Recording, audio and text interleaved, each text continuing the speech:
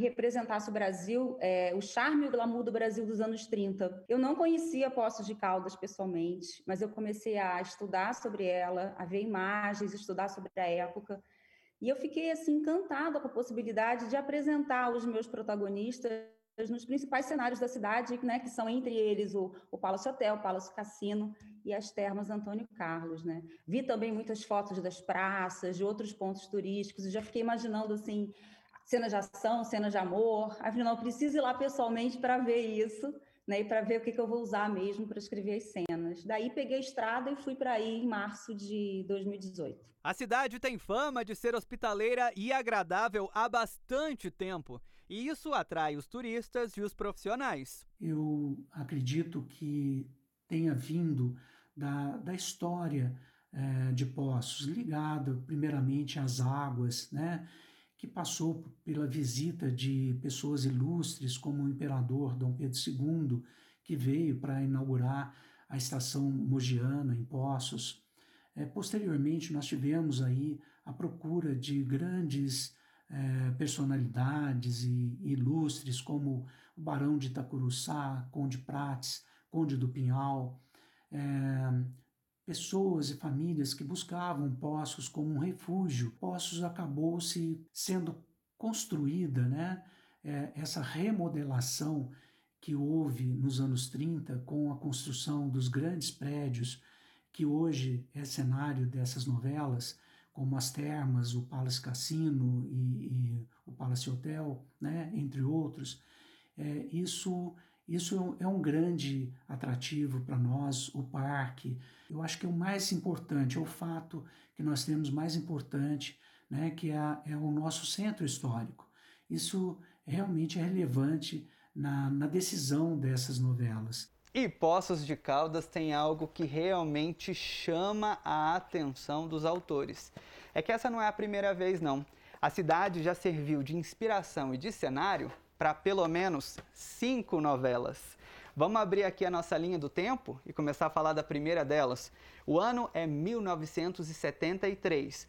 Vai ao ar Rosa dos Ventos, da extinta TV Manchete. 11 anos depois, em 1984, foi ao ar a novela Livre para Voar.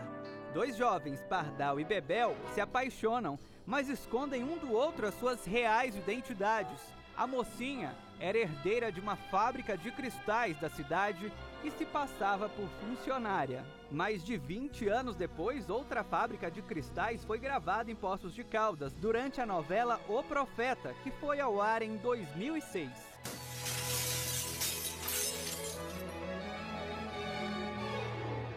Meu vaso de cristal. Você é a mulher da minha vida. Segue a linha do tempo aqui comigo para 2014 quando a novela Alto Astral teve cenas gravadas na cidade. Agora é a vez de Além da Ilusão. Na próxima novela das seis, a cidade não terá um nome fictício. Eu quis falar que era Poços mesmo, porque eu estou usando realmente os nomes dos lugares de Poços, eu estou usando o Palace Cassino, eu estou usando as termas, os personagens vão para esses lugares, eles, tem um personagem que se trata nas termas, né? A família está hospedada no hotel, no Palace Hotel, certo? Então era importante dizer que era lá. Citar a cidade como Poços, né? É uma novela de época, se passada nos anos 30, onde Poços foi um, um, um grande é, um grande cenário, né?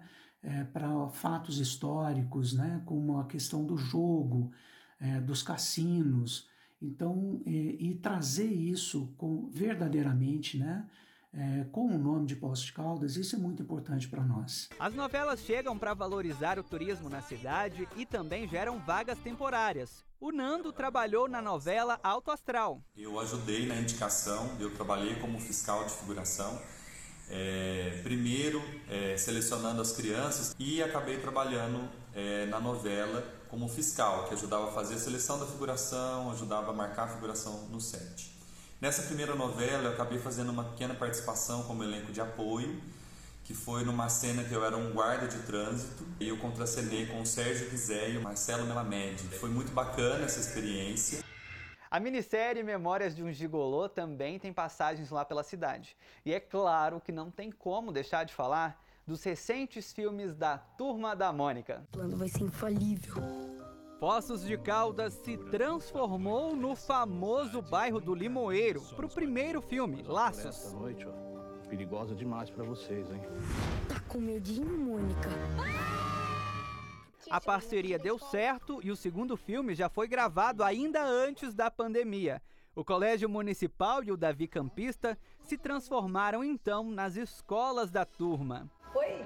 Você que é aluna nova? A trama deve chegar às telonas em dezembro deste ano. E a prefeitura já confirmou que mais um filme da turma vai ser feito na cidade. A turminha mais amada do Brasil em dezembro. Eu queria ver meus amigos. Não quero mais você perto desse menino. Toda vez é a mesma coisa. Será que eles não vão aprender nunca? Magali, vamos brincar?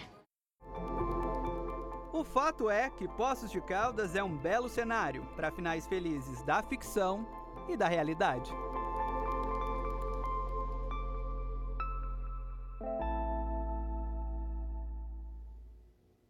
Poços e seus encantos, né? Parabéns ao Diego Lima pela belíssima reportagem. E assim a gente encerra o EPTV1 de hoje. Muitíssimo obrigada pela companhia, que você tenha uma ótima tarde e no EPTV2 nós estaremos juntos novamente, tá?